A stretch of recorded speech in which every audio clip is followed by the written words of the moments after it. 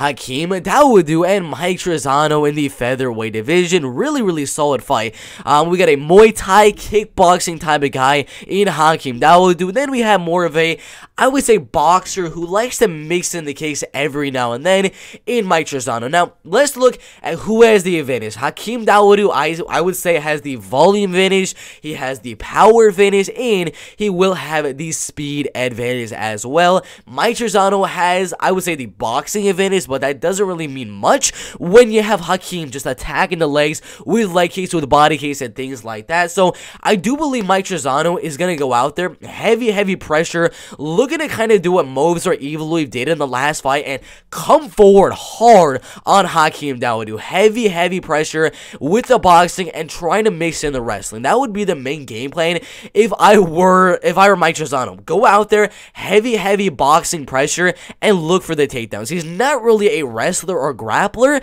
but He's got a 50% takedown accuracy in the UFC. He did get taken down four times by Ludovit Klein. Wasn't really controlled in the fight too often, but I mean, fighting a guy like like Hakeem Dawodu, you're not going to beat him in the striking. I'm, I'm going to say that right now. You are not going to go out there and beat Hakeem Dawodu on the feet. His volume is absolutely amazing, landing 1.5 more strikes per minute, has uh, slightly around the same striking accuracy. That's because he is fighting much, much better competition. Striking defense is very, very even, but Hakeem Dawodu has got way, way better kicks. The leg kicks, the body kicks, the front kicks, and the boxing is going to be very, very even. So if the fight does uh, happen on the feet for the entire three rounds, I'm going to go Hakeem Dawodu to win the fight by a 30-27 decision. Um, and if I were, again, if I were Mike Trizano, you got to learn from how, how, how is Hakeem Dawodu losing his fights.